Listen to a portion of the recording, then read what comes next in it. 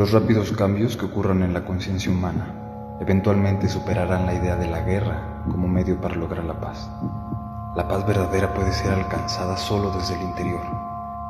Y esta verdad pronto será una parte de la perspectiva mundial de los miles de millones que viven en este planeta. Pero no requiere el entendimiento previo de que todos estos miles de millones cambiemos nuestra conciencia. Solo se necesitan unos pocos. Ustedes saben quiénes son son los que escuchan esto.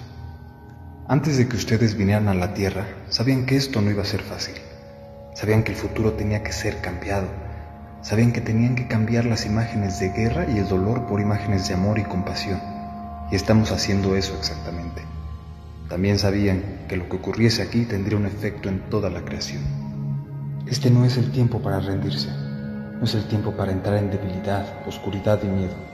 En estos tiempos finales, podremos ver cada posible fuerza oscura reclamando nuestra atención, tratando de hacer que nos enfoquemos en el miedo, tratando de hacer que nos volvamos una parte del miedo.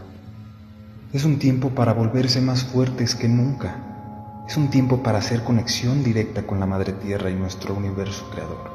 Es un tiempo para convertirse en una clase distinta de guerrero, un guerrero que marcha por los corazones de la humanidad, por lo que es correcto, por los niños y nuestro futuro. ¿Y cómo le podemos hacer? Entrando simplemente en nuestros corazones y usando el asombroso poder que reside ahí. Pensamos, soy débil, solo soy una persona. Pero solo somos débiles si creemos y sentimos en la forma que los que buscan la guerra quieren que pensemos y sintamos. Si nos unimos en nuestros corazones, todas las cosas son posibles. El poder de la intención y la imaginación humana centradas desde adentro del corazón y no solo de la mente, es el poder de crear la paz en la tierra. Cuando creamos imágenes de paz dentro de nuestros corazones, alteramos la vibración de todos los corazones, porque todos los corazones están enlazados. Nosotros creamos un sueño unificador que eventualmente alcanzará al inconsciente colectivo, haciendo posible que la paz y el amor vuelvan a tomar posesión de este mundo. Este sueño unificador nacerá en el corazón de la humanidad. Este sueño unificador tiene un poder más poderoso que el mando de cualquier dictador. Es un sueño que dará vuelta a la marea de la tiranía y cambiará el mundo exterior sin que nadie apunte siquiera un solo rifle.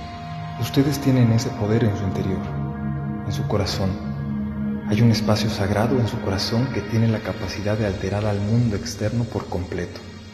Solo necesita que ustedes se vuelvan intrépidos y entren en su propio corazón con esperanza y cuidados. Nuestros mayores deseos residen en el corazón y las formas y medios para manifestarlos en este mundo también están ahí. Ese poder ha estado en su corazón desde antes de la creación de este universo. No se necesita que sean expertos en meditación o tengan un conocimiento especial para crear desde adentro de su corazón. Solo se necesita que amen y deseen que haya una nueva forma en la tierra. En ese espacio sagrado, un niño puede mover montañas. En ese espacio sagrado, hasta un bebé en su cuna puede cambiar el curso de la historia. Así que mi mensaje para ustedes es, no se dejen abrumar por el noticiero de la noche y los medios que trae. Necesitamos saber acerca del lado oscuro solo lo suficiente como para comprender cuán necesarios somos solo lo suficiente como para comprender que debemos tomarnos el tiempo para crear nuestro propio sueño de luz. Crean en sí mismos, sepan de su relación directa con el universo. A todos los que me preguntaron, ¿qué puedo hacer en estos tiempos? Esta es mi respuesta. Hay una sola cosa que hacer.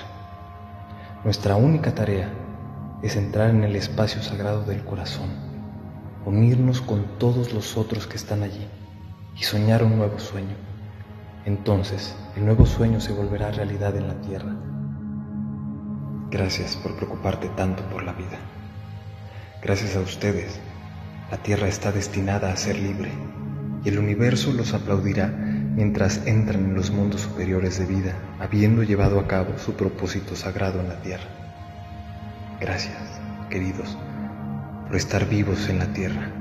Los amo y honro. En amor y servicio, de un balo.